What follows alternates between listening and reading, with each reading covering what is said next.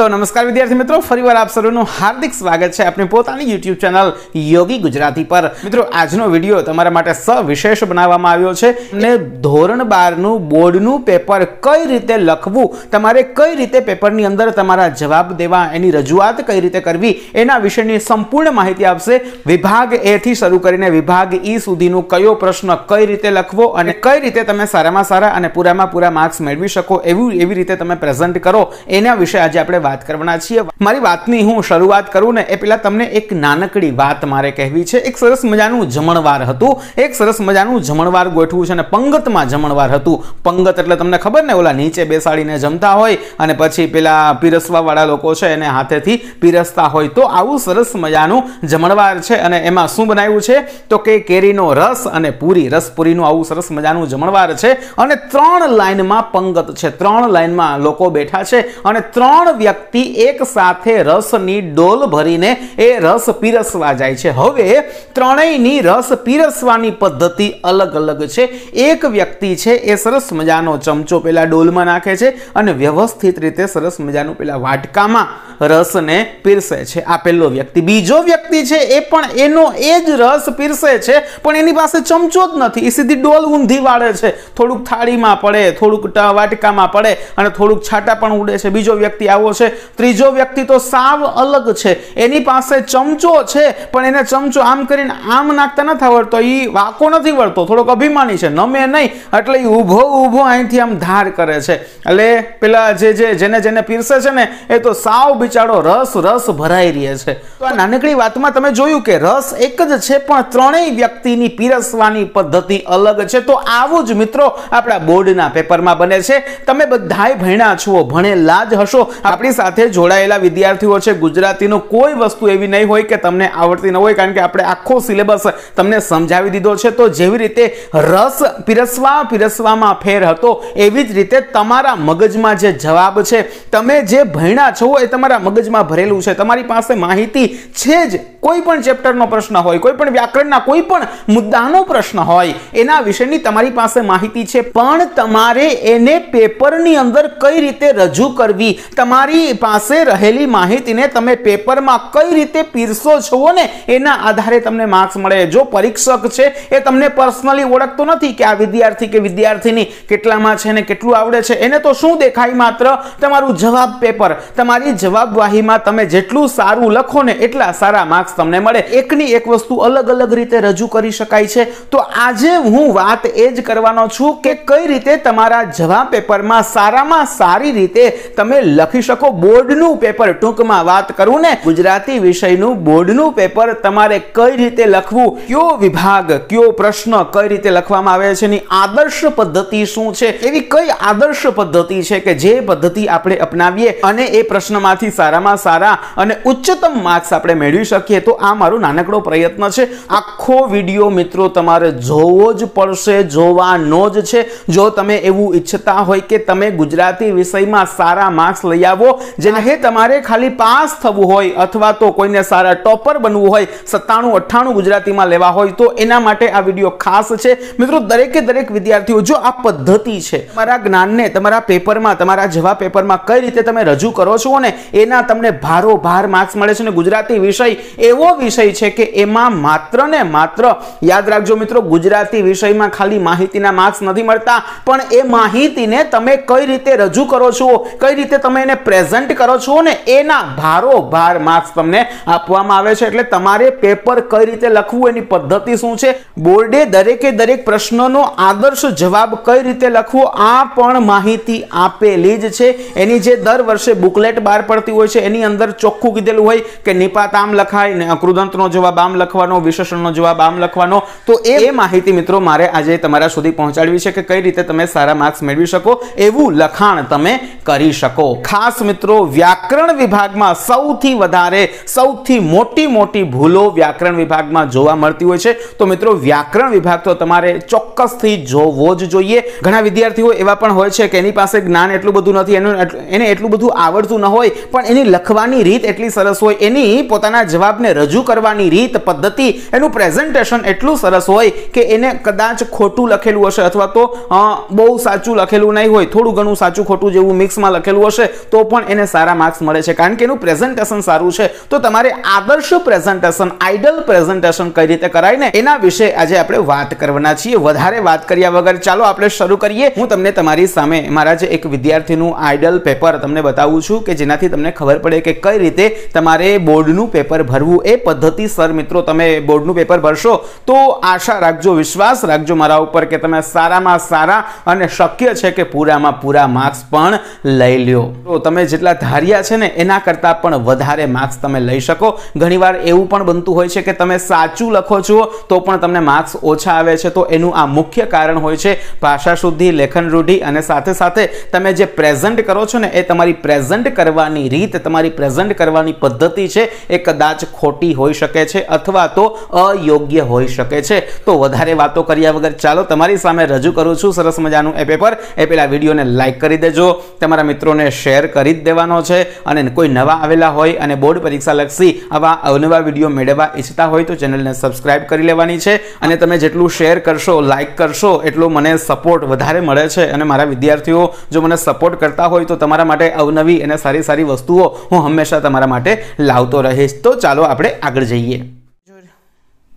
તો મિત્રો, જે રીતે તમને વાત કરી, આપણે જોવાના છીએ કે કઈ રીતે તમે બોર્ડનું પેપર ભરો કે જેનાથી તમે સારામાં સારા માર્ક્સ મેળવી શકો અને જેટલું તમે લખો છો, એના પૂરા માર્ક્સ તમારે લેવા હોય. તો આ પદ્ધતિસર, આ નિયમ પ્રમાણે અને વ્યવસ્થિત, આકર્ષક રીતે આપણું પેપર દેખાય એવી રીતે આપણે પેપરને લખવાનો પ્રયત્ન કરવો જોઈએ. સૌથી પહેલાં એકથી પહેલાં મિત્રો, ખાસ યાદ રાખવાનું છે કે નવો વિભાગ નવા પેજે અને નવા વિભાગની અંદર જે નવો પ્રશ્ન, જે પેટા પ્રશ્નો અલગ અલગ હોય ને, એમાં નવો પ્રશ્ન શરૂ થાય એ પણ બને ત્યાં સુધી નવા પેજે લઈ જાઓ તો એ વધારે સારું છે. સ્ક્રીન ઉપર સૌથી પહેલો વિભાગ એ કઈ રીતે લખાય છે એ આપણે જોઈએ. સૌથી પહેલાં ત્રણ એમસીક્યુ હોય છે. એમાં એમસીક્યુમાં તમારે ખાસ યાદ રાખવાનું કે તમારો જે પ્રશ્નનો જવાબ છે એનું ઓપ્શન પણ લખવાનું અને જવાબ પણ લખવાનો. ક ગ્રંથોએ ડ.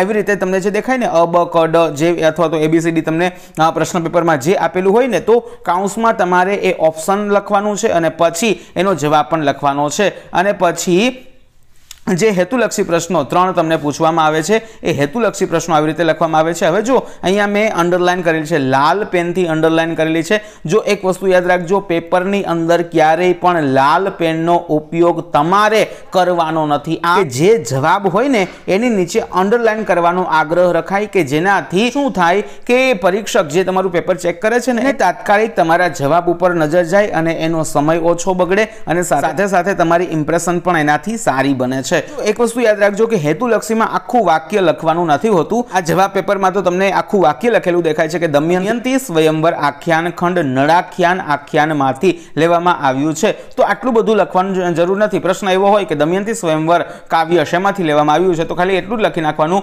નળાખ્યાનમાંથી. પણ જો નળાખ્યાન છે એના ઉપર ઇન્વોટેક કોમા કરાય. ગમે ત્યારે કોઈ પણ પુસ્તકનું નામ લખો ને, તો એના ઉપર ઇન્વોટેક કોમા ફરજિયાત કરવાના હોય છે. નળાખ્યાન વ્યાખ્યાન ઇન્વોટેક કોમા પૂરા અને ઇન્વોટેક કોમાની બારમાંથી એવી રીતે લખવામાં આવે. તો એને વ્યવસ્થિત આપણે બતાવી શકીએ. વ્યવસ્થિત રીતે આપણે રજૂ કરી શકીએ. જુઓ સાહિત્ય પ્રકાર, ગરબી એવી રીતે ટૂંકમાં હેતુલક્ષી પ્રશ્નોમાં માત્ર તમારે જવાબ દેવાનો. પછી સાત નંબરના પ્રશ્નથી સાત, આઠ, નવ એ એક એક વાક્યવાળા પ્રશ્નો હોય છે. આમાં તમારે ખાલી જવાબ નહીં દેવાનો. જેમ કે પરમાત્માએ પોતાની રસવૃત્તિથી અનેક રસ લેવા માટે આ વૈવિધ્યપૂર્ણ સૃષ્ટિનું સર્જન કર્યું છે. આવી રીતે આખા વાક્યમાં જવાબ દેવાનો. તો મિત્રો, આ વસ્તુ તમારે ખાસ યાદ રાખવાની છે કે જ્યારે તમારે એક એક વાક્યમાં જવાબ દેવાનો હોય, ત્યારે પૂરા વાક્યમાં જવાબ દેવો. અને આ હેતુલક્ષીમાં જે ચાર, પાંચ, છ નંબરના પ્રશ્નો હોય છે, ગદ્ય અને પદ્યમાં, એ હેતુલક્ષી પ્રશ્નોમાં તમારે આખું વાક્ય લખવાની જરૂર નથી. એમાં તમે સીધો જ માત્ર જવાબ લખો ને તો પણ ચાલે. હવે જો એના પછી જે બે બે માર્ક્સવાળા પ્રશ્નો, ટૂંક જવાબી પ્રશ્નો જેને કહેવાય છે, એ પ્રશ્નોમાં અહીંયા મેં ક્વેશ્ચન માર્ક કરેલો છે. એ ક્વેશ્ચન માર્ક શેના માટે છે? તમને પણ કદાચ ખ્યાલ આવી જતો હશે,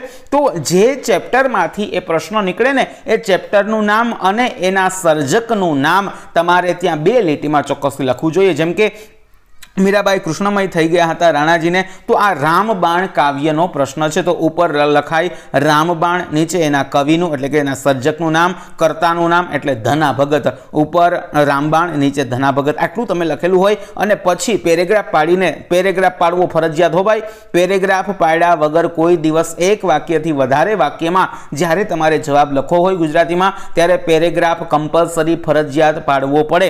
તો આવી રીતે તમે પેરેગ્રાફ પાડીને પછી નીચે જવાબ જવાબ લખો ને, તો એ વધારે સારું. તો બે બે માર્ક્સ માટે હું ફરજિયાત નથી કહેતો, પણ જો પેલું કહેવાય ને, સોનામાં સુગંધ ભેળવી હોય, એટલે સારા કરતાં પણ સારું તમારે પરફોર્મન્સ દેવું હોય, તો તમારે આ બે બે માર્ક્સવાળા પ્રશ્નોમાં પણ માત્ર ચેપ્ટરનું નામ એટલે કે કૃતિનું નામ અને એના સર્જકનું નામ ચોક્કસથી લખવું જોઈએ. તો આ બાર, તેર અને ચૌદ આ ત્રણેય પ્રશ્નો છે, એ બે બે માર્ક્સવાળા પ્રશ્નો છે. ત્યાર પછીનો આ જે પ્રશ્ન છે પ્રશ્ન નંબર પંદર, એ ચાર માર્ક્સવાળો જેને આપણે સવિસ્તારવાળો પ્રશ્ન કહીએ છીએ, એમાં તમને ઓપ્શન મળે છે. હવે આ વસ્તુ યાદ રાખજો, એમાં તમારે બેમાંથી કોઈ પણ એક લખવાનું હોય છે. અહીંયા તમે જોઈ શકો છો કે ઉપર પ્રશ્ન નથી લખેલો, પણ હું તમને સલાહ આપીશ કે તમારે પ્રશ્ન પણ લખવો. એટલે ખબર પડે કે બેમાંથી કયા પ્રશ્નનો તમે જવાબ આપો છો. તો સૌથી પહેલાં પંદર નંબર, એટલે સવિસ્તારવાળા જે ઓપ્શનલ પ્રશ્નો છે ને, એમાં તમારે ખબર ખબર તો પડવી જોઈએ ને પરીક્ષકને કે તમે કેનો જવાબ આપ્યો છે. તો તમારે પહેલાં પ્રશ્ન લખવાનો. આ મોટા પ્રશ્નોમાં જ કહું છું, બધાય પ્રશ્નો લખવાની જરૂર નથી, પણ આ મોટા પ્રશ્નોમાં તમારે ક્રમ આપવાનો છે. પણ પંદર નંબર ઉપર જ બે પ્રશ્ન હશે. તો બેમાંથી તમે કેનો જવાબ આપો છો ને, એ સ્પષ્ટતા તમારે કરવી જોઈએ. તો અહીંયા આવી રીતે તમારે સૌથી પહેલાં કૃતિનું નામ, કર્તાનું નામ, સાહિત્ય પ્રકાર, આ વસ્તુ ફરજિયાત કમ્પલસરી બધાએ લખવાની છે અને તમને ખ્યાલ જ હશે ને કે કઈ રીતે મોટા પ્રશ્નોનો જવાબ લખવો. એના વિશેનો આપણે વિસ્તૃત વીડિયો બનાવેલો છે. જેનો તમે અભ્યાસ ન કરેલો હોય તો નીચે ડિસ્ક્રિપ્શન બોક્સમાં એની લિંક તમને મળી જશે. આપણી ચેનલ ઉપર પણ તમને ખબર પડી જશે, તમને વીડિયો મળી જશે કે મોટા પ્રશ્નોનો જવાબ કઈ રીતે તમને લખી શકો કે જેનાથી તમે સારામાં સારા અને બને ત્યાં સુધી પૂરા માર્ક્સ લઈ શકો. તો જો અહીંયા જે પ્રશ્નનો જવાબ આપેલો છે, આ એવો સરસ મજાનો જવાબ બનાવેલો છે કે શક્ય છે કે આમાં સાડા ત્રણથી ચાર માર્ક્સ પૂરેપૂરા આરામથી મળી જાય એમ છે. જો દમયંતી સ્વયંવર કાવ્યનું કૃતિનું નામ, એના કરતા પ્રેમાનંદ, સાહિત્ય પ્રકાર આખ્યાન ખંડ. હજી એક વસ્તુ આમાં ઉમેરી શકાય. નીચે તમે સંદર્ભ લખી શકો. સંદર્ભ શું આવે? નળાખ્યાનમાંથી અથવા તો સંદર્ભ નળાખ્યાન. આ ચાર વસ્તુ, કૃતિ, કરતા, સાહિત્ય પ્રકાર અને સંદર્ભ, આ ચાર વસ્તુ તમારે મોટા પ્રશ્નનો જવાબ લખતી વખતે ફરજિયાત દેવી જોઈએ. જો તમારે સારા માર્ક્સ લેવા હોય તો તો અહીંયા તમે જોઈ શકો છો ચાર માર્ક્સવાળો જે પ્રશ્ન છે વિસ્તૃત એમાં તમારે મિત્રો લખવાનું હોય છે. એક પેજથી પણ વિસ્તૃત લખાણ તમારું હોવું જોઈએ. તો અહીંયા તમને દેખાતું હશે આ ચાર માર્ક્સનો સરસ મજાનો જવાબ અહીંયા તમને. ઓકે. તો અહીંયા વિભાગ એ પૂરો થઈ ગયો. હવે આપણે વિભાગ બી તરફ જઈએ. વિભાગ બી એમાં પણ એમસીક્યુ પેલા હોય છે. એમાં ઓપ્શનનું નામ અને પછી જવાબ એવી રીતે બંને લખવાનું. પછી અહીંયા જુઓ ઓગણીસ, વીસ, એકવીસ. આ ત્રણેય છે. હેતુલક્ષી પ્રશ્નો છે. હેતુલક્ષી પ્રશ્નોમાં ખાલી આખું વાક્ય ન લખો અને ખાલી જવાબ લખી નાખો માત્ર, તો પણ ચાલે. તો આ અહિંસાની ખોજ હાસ્ય નિબંધ મુકુંદરાય પારાશર્ય, એટલું તમે જવાબમાં લખો તો પણ ચાલે. હવે ત્યાર પછી બાવીસ, ત્રેવીસ, ચોવીસ, પચીસ. આ છે એક એક વાક્યવાળા પ્રશ્નો જેને આપણે પૂરા વાક્યમાં જવાબ દેવાનો હોય છે. અહીંયા છવ્વીસ સત્યાવીસ અઠ્યાવીસ, આ ત્રણેય પ્રશ્નો છે. આપણને ખબર છે કે ટૂંક જવાબી પ્રશ્નો હોય છે બે બે માર્ક્સના. એમાં પણ તમારે ઉપર કૃતિ અને કર્તાનું આ બે વસ્તુ લખી લેવાની અને પછી પેરેગ્રાફ પાડીને તમારે જવાબ લખવાનો હોય છે. ત્યાર પછી ત્રીસમો પ્રશ્ન એટલે કે સવિસ્તારવાળો, એમાં કૃતિ, કરતા, સાહિત્ય પ્રકાર અને ચોથું સંદર્ભ પણ બતાવી શકાય. પણ આમાં પણ તમારે યાદ રાખવાનું કે જે પ્રશ્નનો જવાબ તમે લખતા હોય તો ઉપર તમારે પ્રશ્ન લખવાનો કે જેનાથી પરીક્ષકને તમારું જે પેપર ચેક કરે છે, એને પણ સરળતા રહે. અને મિત્રો, એને જો પરીક્ષકને સરળ તમે જેટલું બનાવો ને, એટલું એ તમારા ઉપર વધારે ઇમ્પ્રેસ થાય અને એ તમને વધારે સારા માર્ક્સ મળે. આ વસ્તુ તમારે ખાસ ધ્યાન રાખવું જોઈએ કે આપણે બને ત્યાં સુધી પરીક્ષકને ઓછા સમયમાં વ્યવસ્થિત રીતે આપણું પેપર ચેક થાય ને, એવું સરસ મજાનું પ્રેઝન્ટેશન તમે કરો તો પરીક્ષકનું દિલ તમે જીતી શકો છો. તો આ તેત્રીસમો પ્રશ્ન છે. એનો જવાબ તમને જે સવિસ્તારવાળો પ્રશ્ન છે, એનો જવાબ તમને સ્ક્રીન ઉપર દેખાતો હશે ઓકે? વિભાગ સી છે, એ સૌથી મહત્વનો છે. મિત્રો, વ્યાકરણ વિભાગ છે ને, એ એટલો મહત્વનો છે કે એમાં તમારે કઈ રીતે પ્રેઝન્ટ કરવું એની તમને ખબર હોવી જોઈએ. નહીં તો વ્યાકરણ વિભાગમાં તમારા ઘણા બધા માર્ક્સ તમે ખોઈ દો એવું આપણે નથી થવા દેવું. એટલા જ માટે આપણે આ કામ કરી રહ્યા છીએ. તમે ખાસ વ્યાકરણ વિભાગ કઈ રીતે તમારે લખવો ને એના વિશેની આપણને ખબર હોવી જોઈએ. સૌથી પહેલાં સમાનાર્થી શબ્દો છે. ઘણા વિદ્યાર્થીઓને આદત હોય છે કે બે બે શબ્દો લખે. પણ યાદ રાખજો મિત્રો, ત્રણે ત્રણ શબ્દો. સમાનાર્થીમાં ત્રણે ત્રણ શબ્દો તમારે લખવા ફરજિયાત છે. ત્યાર પછી વિરુદ્ધાર્થી શબ્દો આપેલા છે. તમારે જો અહીંયા આ વિદ્યાર્થીએ ભોજો, ભડવીર માણસ હતો, આ જે પ્રશ્નનું વાક્ય છે ને વિરુદ્ધાર્થીમાં, એ લખવાની જરૂર નથી. સીધો જવાબવાળું વાક્ય લખો ને, તો પણ ચાલે કે ભોજો ડરપોક માણસ ન હતો, તો ભડવીરનું ડરપોક થઈ ગયું. હવે તમે જે વિરુદ્ધાર્થી શબ્દ લખો ને, એની નીચે પણ અંડરલાઇન કરજો. મિત્રો બ્લેક અને બ્લુ આ બે, બે- બંને પેનનો ભરપૂર તમે ઉપયોગ કરજો. ગમે ત્યારે બ્લુ પેનથી લખાણ કરાય અને હાઇલાઇટ કરવા માટે નીચે બ્લેક પેનથી તમે અંડરલાઈન કરી શકો અને જો સમયનો અભાવ હોય તો તમે બ્લુથી કમસે કમ બ્લૂથી તો અંડરલાઈન કરી જ દેજો. વિરુદ્ધાર્થીમાં ખાસ તમે જે શબ્દ વિરુદ્ધાર્થી વાપરો ને એની નીચે અંડરલાઈન કરી દેવાની. તો ત્યાર પછી આજે શબ્દ સમૂહ માટે એક શબ્દ છે જવાબ લખવાનો પછી એક લીટી છોડી દેવાની પછી જવાબ લખવાનો ખીચડો નહીં કરવાનો ક્યારે છૂટું લખાણ હંમેશા કરવાનું. મિત્રો તમે પૈસા ભર્યા છે બોર્ડની પરીક્ષાની ફી તમે ભરપૂર ભરેલી છે અથવા તો એનો ઉપયોગ તમે કરો. કાગળ ભલે ને બે પાંચ કાગળ વધારે જોઈએ પણ તમારું પ્રેઝન્ટેશન તમારું જે લખાણ છે ને એકદમ છૂટું છૂટું અને વ્યવસ્થિત ક્રમમાં દેખાવું જોઈએ. આવો પ્રયત્ન આપણો રહેવો જોઈએ. ત્યાર પછી જો તળપદા શબ્દો તળપદા શબ્દોમાં તમારે શબ્દ પણ લખવાનો અને એની એની સામે જેનો જવાબ લખવાનો, તાગવું એટલે માપવું, ડોબવું એટલે ભેંસ. તો આવી રીતે તમારે જવાબ લખવાનો ત્યાર પછી જોડણીમાં પણ તમારે ખોટી જોડણી લખવાની અને એની સામે સાચી જોડણી લખવાની. આ રીતે જુઓ કેટલું આમ ખીચડો નહીં કરવાનો, એકની નીચે બીજું, બીજાની નીચે ત્રીજું ઘણા તો આમ લાંબી લાઈન કરતા હોય. પહેલું, બીજું, ત્રીજું અથવા તો અડતાલીસ, ઓગણપચાસ, પચાસ, છેતાલીસ, સુડતાલીસ એક લીટીમાં લાંબી લાઈન નહીં કરવાની, ઉપર, નીચે અને એક એક લીટી છોડતી જવાની. બે પેરેગ્રાફ વચ્ચે પણ એક લીટી તમારે ખાલી મૂકી દેવાની. આમ અલગ અલગ છૂટું, આપણું આમ બધું મોતીના દાણા જેવા અક્ષર જેને આપણે કહીએ ને આમ, છૂટું બધું તરીને આવવું જોઈએ. બને ત્યાં સુધી વાંચી શકાય એવા અક્ષરે આપણું લખાણ હોય તેવો પ્રયત્ન આપણે કરશું. ત્યાર પછી આજે કૌંસમાં સૂચના એટલે કે વિશેષણ, કૃદંત અને નિપાત આ ખૂબ જ મહત્વનું છે મિત્રો. મોટા ભાગના વિદ્યાર્થીઓ આમાં ભૂલ કરે છે. સૌથી પહેલાં તમારે વિશેષણ ગોતવાનું હોય તો તમારે જે પ્રશ્નનું જે વાક્ય છે એ વાક્ય પણ લખવાનું અને પછી તમારે એમાં વિશેષણ બતાવવાનું. ખાસ યાદ રાખજો, પ્રશ્નનું વાક્ય તમારે લખવું પડે. વિશેષણમાં, કૃદંતમાં અને નિપાતમાં ત્રણે ઘણાને આદત શું હોય કે આ વાક્ય ન લખે અને સીધું વિશેષણ લખે? પણ બોર્ડના નિયમ પ્રમાણે તમારે આખું વાક્ય લખવું પડે અને પછી એમાં તમારે વિશેષણ નીચે અંડરલાઇન કરવાની અને નીચેની લીટીમાં તમારે એને વિશેષણ બતાવવાનો. ઉર્મિલા ખાલી જગ્યા પૂતળી ખાલી જગ્યામાં આપણે કાષ્ઠની તો એવી રીતે તમે વિશેષણની ખાલી જગ્યા પૂરેલી છે. ત્યાર પછી નિપાત છે, તમે જુઓ, આખું વાક્ય લખ્યું છે, અને પછી નીચે, પહેલાં તો વાક્યમાં પણ નિપાતની નીચે અંડરલાઇન કરી, અને પછી એની નીચે નિપાત પણ અલગથી લખેલો છે. તો આવી રીતે તમારે લખવાનું છે. ઉછીનું માગનાર ઉછીનું આપતા નથી. તો આખા માગનાર શબ્દની નીચે અંડરલાઇન કરવાની છે, અને એની નીચે તમારે જવાબ પણ તમારે લખવાનો હોય છે. તો આવી રીતે વિશેષણ કૃદંત અને નિપાત આ ત્રણેયને વ્યવસ્થિત રીતે મિત્રો પ્રેઝન્ટ કરવાની છેલ્લો જે પ્રશ્ન હોય છે, એમાં તમારે કૃદંત પણ દર્શાવવાનો હોય છે અને સાથે સાથે એનો પ્રકાર. તો જુઓ યુવાન વકીલને પુસ્તકો વાંચવા માટે અપાયા. તો યુવાન વાંચવા શબ્દ છે, એ હેતવર્થ કૃદંત છે. તો તમારે શું કરવાનું? પહેલાં તો વાક્યમાં એની નીચે અંડરલાઇન કરી દેવાની, એની નીચે કૃદંત વાંચવા, પ્રકાર, હેતવર્થ કૃદંત આવી રીતે બધું અલગ અલગ લખવાનું. કૃદંત વાંચવા અને પ્રકાર, હેતવર્થ કૃદંત તો ત્યાર પછી રૂઢિપ્રયોગ. રૂઢિપ્રયોગ એ તમારે લખવાનો, એની સામે એનો અર્થ લખવાનો અને એની નીચે એનું વાક્ય લખવાનું. આ ત્રણેય વસ્તુ મિત્રો અર્થ નહીં લખો અને ખાલી વાક્ય પ્રયોગ કરશો તો તમને એના માર્ક્સ નહીં મળે. જો તમે એનો અર્થ લખશો અને પછી તમે વાક્ય પ્રયોગ કરશો, તો જ મિત્રો તમને એના માર્ક્સ મળતા હોય છે. આ બોર્ડનો નિયમ છે. ત્યાર પછી આગળ છે. ભાષા શુદ્ધિ લેખન રૂઢિ અને પ્રત્યે સુધારણા, પદક્રમ, પદ સંવાદ એના જવાબ પણ મિત્રો તમને દેખાતા હશે. મિત્રો, યાદ રાખવાનું, તમે જે પ્રશ્ન લખો છો ને, એ પ્રશ્નનો ક્રમ વ્યવસ્થિત દેવાનો. આ વસ્તુ ખાસ યાદ રાખજો. પ્રશ્નનો ક્રમ તમારો આડા અવડો ન થવો જોઈએ. નહીં તો કેવું બનશે કે તમે સાચું લખેલું હશે, છતાં પણ તમને માર્ક્સ નહીં મળે. એટલે પ્રશ્નનો ક્રમ વ્યવસ્થિત મિત્રો તમારે જાળવવાનો છે. ત્યાર પછી એકસાઠ, બાસઠ, ત્રેસઠ આવી રીતે ભાષા શુદ્ધિ લેખન રૂઢિ અને જ્યાં જ્યાં તમે ભાષા શુદ્ધિ એમાં કરેલું નથી, પણ તમારી માહિતી માટે હું તમને કહી દઈશ કે ભાષા શુદ્ધિ લેખન રૂઢિ અને પદક્રમ, પદ સંવાદ હોય પ્રત્યે સુધારણા હોય, એમાં તમે જ્યાં જ્યાં સુધારો કરો ને, એની નીચે અંડરલાઈન જરૂર કરો. ભોજાએ એક નવજાત નાના બાળકને રજૂ કર્યું. આ વાક્ય ખરેખર ખોટું છે. નાના શબ્દ છે, એ વધારાનો શબ્દ છે. નવજાત એટલે નવું જન્મેલું. નવું જન્મેલું હોય, એ નાના જ હોય. નાનું બાળક જ હોય. કોઈ દી મોટું જ બાળક છે, એ કોઈ દી નવો જન્મ ન લે. તો બરોબર છે? તો આ નાના શબ્દ એ વધારાનો શબ્દ છે. અશુદ્ધ ભાષા એને કહેવાય. તો નાના શબ્દ છે એમાંથી કાઢી નાખવાનો હોય. ભોજાએ એક નવજાત, આ તમે પેપર જોયેલું હશે. આપણે આપણી ચેનલમાં આનું સોલ્યુશન પણ મૂકેલું છે.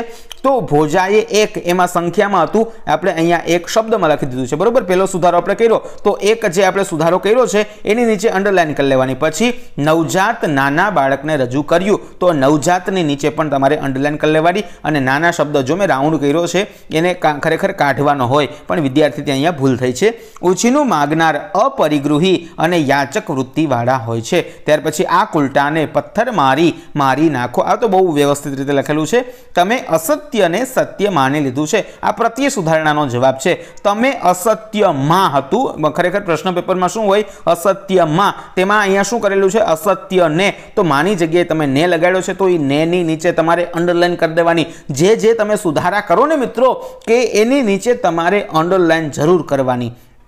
પછી જુઓ, સંયુક્ત કે સંકુલ વાક્યને તમારે સાદા વાક્યમાં ફેરવવાનું છે. તો અહીંયા તમને પ્રશ્ન પેપરમાં સંયુક્ત કે સંકુલ વાક્ય આપેલું છે. એને સાદા વાક્યમાં કઈ રીતે ફેરવવાનું? આ પદ્ધતિ છે. ગાઈડ બુકમાં જે આમ સળંગ લખેલું હોય ને, એ પદ્ધતિથી તમારે નથી લખવાનું. અલગ અલગ લીટીમાં ઉપર નીચે પહેલું વાક્ય, બીજું વાક્ય, ત્રીજું વાક્ય, ચોથું વાક્ય, એમ ક્રમમાં અલગ અલગ વાક્યો મિત્રો કરવાના. અને અહીંયા વાક્યના અંતે, એ ઉપરના બે વાક્યમાં જુઓ ફૂલ સ્ટોપ નથી દેખાતો. પણ સાદું વાક્ય પૂરું થાય, તો તમારે ફરજિયાત કમ્પલસરી પૂર્ણ વિરામ કરવો જ પડે. ખાસ મિત્રો આ વસ્તુ તમારે યાદ રાખવાની છે. તો અને પછી જો અહીંયા પ્રત્યય ભૂલમાં લખાઈ ગયું છે, પણ એ વિદ્યાર્થીથી કદાચ ભૂલ થઈ છે. ખરેખર એને શું કહેવાય? સંયોજક. યુક્ત કે સંકુલ વાક્યને સાદા વાક્યમાં ફેરવવા માટે તમારે સંયોજક કાઢવાના. તો સૌથી પહેલાં તમારે સાદા વાક્યો લખી નાખવાના, એની નીચે એના સંયોજક પણ લખવાના. અને, ત્યારે, તો ત્યારે આવ્યું છે, તો જ્યારે જ્યારે, અને, જ્યારે, ત્યારે. આ બંને એના સંયોજક છે. તો નીચે તમારે સંયોજક પણ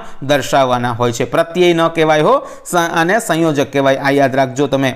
તો આવી રીતે સાદા વાક્યોને મિત્રો ક્રમમાં લખવા જરૂરી છે, ફરજિયાત છે. ત્યાર પછી જો એનાથી ઊંધું કરવાનું હોય, શું હોય? સાદા વાક્યને સંયુક્ત કે સંકુલ વાક્યમાં ફેરવવાના હોય, ત્યારે શું કરવાનું? જુઓ, તમારે જે આખું વાક્ય છે, તમને સાદા વાક્યો પરીક્ષામાં આપેલા હોય, એને તમારે સંયુક્ત કે સંકુલમાં ફેરવવાના હોય છે. તો એટલા માટે તમારે સંયોજક ઉમેરવા પડશે. તો તમારે સંયોજકની નીચે અંડરલાઈન કરવાની મારતે, ઘોડે અને ધોધમાર વરસતે વરસાદે અમે પહાલગામ પહોંચ્યા. તો તમે અન અને સંયોજકને ઉમેરો છે, તો અનેની નીચે તમારે મિત્રો અંડરલાઇન કરવી પડે. ત્યાર પછીનું ઓગણસિત્તેરમું જુઓ.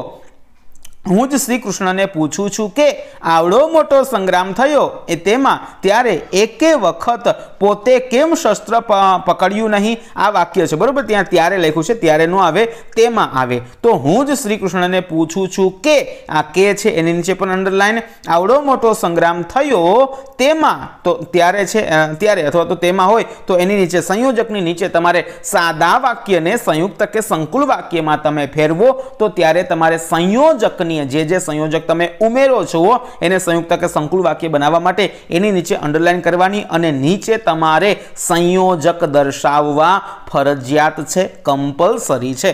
તો અહીંયા તમારો વ્યાકરણ વિભાગ પૂરો થાય છે. ત્યાર પછીનો અર્થગ્રહણ વિભાગ છે, એને તમે કઈ રીતે લખશો? તો સૌથી પહેલા મિત્રો તમને અત્યારથી જ કહી દઉં છું, વિભાગ ડી અને વિભાગ ઈ જે પ્રશ્ન હોય, એનું ઉપર તમારે ક્રમ દર્શાવવાનો અને એનું નામ લખવાનું. જેમ કે પ્રશ્ન નંબર વિભાગ ડીમાં સૌથી પહેલા પદ્યાર્થ ગ્રહણ હોય તો વિભાગ ડી કરીને નીચે લખવાનું પદ્યાર્થ ગ્રહણ. પ્રશ્ન નંબર એકોતેર, બોતેર, તોતેર, ચુમ્મોતેર, પિંચોતેર. જુઓ, આવી રીતે એક એક જ પેજની અંદર આ આખું સમાઈ જાય એમ છે. બહુ વ્યવસ્થિત રીતે લખેલું છે. પછી ગદ્યાર્થ ગ્રહણ. ઉપર ગદ્યાર્થ ગ્રહણ લખી નાખવાનું અને નીચે પછી ગદ્યાર્થ ગ્રહણમાં એટલે પેરેગ્રાફની નીચે જે પ્રશ્નો આપેલા હોય એના જવાબ તમારે લખવાના. મિત્રો, આવું સરસ મજાનું વ્યવસ્થિત રીતે, ક્રમબદ્ધ અને નિયમ પ્રમાણે છૂટું આકર્ષક રીતે તમારું લખાણ હોય, તો ક્યારેક કદાચ તમારું કંઈ ખોટું હોય ને, તો તમારું પ્રેઝન્ટેશન એટલું સરસ હોય ને, કે ખોટી વસ્તુના પણ તમને માર્ક્સ મળી જાય. આવું બને છે. હો મિત્રો, તો મિત્રો, આવી વસ્તુનું તમારે ખાસ ધ્યાન રાખવું જોઈએ.